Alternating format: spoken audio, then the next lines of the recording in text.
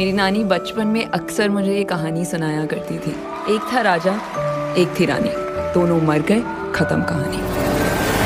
पर so guys finally वो दिन आ गया जब हमारे इंडिया के सो कॉल्ड कंटेंट व्यूअर्स अपने यार इंस्टा पे पोस्ट करेंगे यार। Hashtag Sushant last movie hashtag watching Dil Bechara. और यार पायरेटेड जो मूवीज़ देखने वाले थे ना, वो भी यार हॉटस्टार जो ऐप है, वो जा करके डाउनलोड करेंगे। भाई, अपना स्टैंडर्ड जो बनाना है उनको। वैसे दिल बेचारा जो मूवी है, सुशांत सिंह की सबसे महँगी फ़िल्म आप इसको बोल सकते हो। क्यों? अरे भाई, क्योंकि इसकी जो कॉस्ट है ना, वो उस बेचारे की लाइफ थी।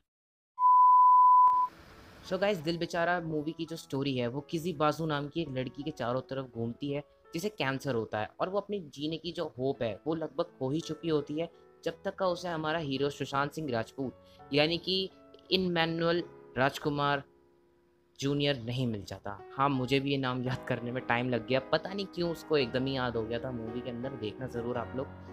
इन मैनुअल राजकुमार जूनियर उसकी जो लाइफ है, उसके अंदर खुशियाँ भर देते हैं अपनी कातिनाला स्माइल की मदद से। और उसके बाद जो ट्रेजिक एंड होता है गाइस वो देखना तो ज़रूर आपको बनता है, क्योंकि वो जो एंडिंग होती है, वो मेनली है और वो ही इमोशनल कर देती है। मूवी के अंदर गाइस सुशांत सिंह का जो मस्त मौला कैरेक्टर दिखाया गया है, वो अपनी जो है मटर गश्ती और मज़ेदार लाइफ से जो किसी बाजू के जो जीवन है, उसमें भी यार खुशियाँ भर देता है, उसे एक नई होप देता है जीने की। कुछ कुछ मस्ताने बन के तो उनके एक्ट इतने ज़्यादा रियल लगते हैं कि ऐसा लगता है कि जैसे अभी वो स्क्रीन से ऐसे बाहर निकल के आ जाएँगे। फ़िल्म में सुशांत सिंह के साथ साथ किसी बाजू यानी कि संजना संधि ने भी जो है काफ़ी अच्छी तरीके से अपने कैरेक्टर को संभाला है। क्योंकि अगर आप मूवी देखेंगे तो आपको पता चलेगा कि किस हिसाब से कैंसर पेशेंट की लाइफ को उन लोगों ने शो किया है हमारे आगे। अभी अगर मैं ओवरऑल मूवी के बारे में बात करूँ तो कुछ ऐसे पॉइंट्स थे जो कि मेरे को कुछ पर्सनली सही नहीं लगे कि मुझे लगा कि कुछ तो मिसिंग है इस मूवी के अंदर। फॉर एग्ज़ाम्पल किसी बाजू की जो मदर जिन्होंने प्ले किया है रोल किसी बाजू की मदर का स्वास्तिका मुखर्जी ने आई होप कि मैंने उनका नाम सही लिया हो। सो so, उनका जो कैरेक्टर था एज अ मदर तो वो मेरे को थोड़ा सा अनोइंग लगता है कुछ कुछ सीन्स के अंदर क्योंकि वहाँ पे एक सीन आता है कि वो लोग पेरिस घूमने जाते हैं। तो अगर आप मूवी देखेंगे तो आपको पता चलेगा कि उनका जो एक्ट था या फिर कैरेक्टर था, वो पेरिस जाने से पहले कुछ और था और बाद में कुछ और बन जाता है। एकदम सडनली चेंजेस आते हैं। तो अगर वो लोग कोई सीन डाल देते जिसके अंदर हमें पता चलता कि ये सडनली चेंजेस क्यों आए हैं तो वो ज़्यादा चीज़ क्लैरिफाई कर पाते वैसे मैं आपको बता देना चाहता हूँ कि जो दिल बेचारा मूवी है वो एक हॉलीवुड की अडेप्टशन है, यानी रीमेक है the fault in our stars की।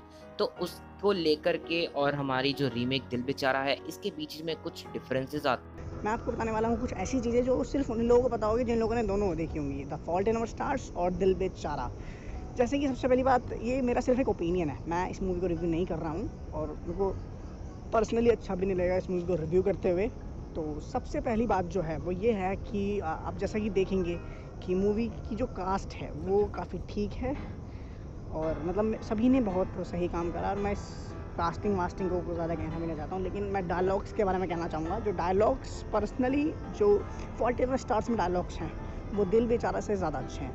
आप एक बार देखिएगा मतलब अब मुझे कमेंट सेक्शन में गाली मत पकड़ने लगना। मैं बता रहा हूँ पर्सनली कि ज़्यादा अच्छे हैं और आप देख सकते और पॉइंट नंबर टू तो अगर हम थोड़ी स्टोरीज़ और ब्रीफिंग की बात करें मतलब डिटेलिंग की तो अब डिटेलिंग जो मूवी की है, वो आपको ज़्यादा डिटेलिंग फॉल्ट इन स्टार से मिलेगी। और अगर अब मैं तीसरे पॉइंट की बात करूँ, तीसरा पॉइंट ये है कि जिसमें इन्होंने एक मूवी में एक म्यूजिशियन को यूज़ किया है, कि जिसका गाना अधूरा रह गया है, वो पूरा करने के लिए वो लोग पेरिस जा रहे हैं। तो फॉल्ट इन स्टार्स में एक बुक है जो कि अधूरी रह गई अधूरी रह गई है और उसको पूरा जानने के लिए वो लोग एम्स्टरडेम जाते हैं। गाइस आपको दिल बेचारा मूवी एक बार ज़रूर ट्राई करनी चाहिए क्योंकि यार ये बॉलीवुड पे होने वाले नेपोटिज्म पे बहुत ही तगड़ा तमाचा है।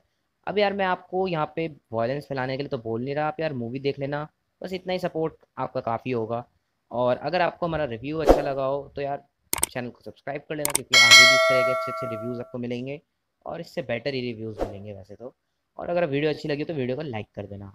हम मिलेंगे किसी और अगली वीडियो में, किसी और अच्छे से रिव्यू के साथ। तब तक के लिए गुड बाय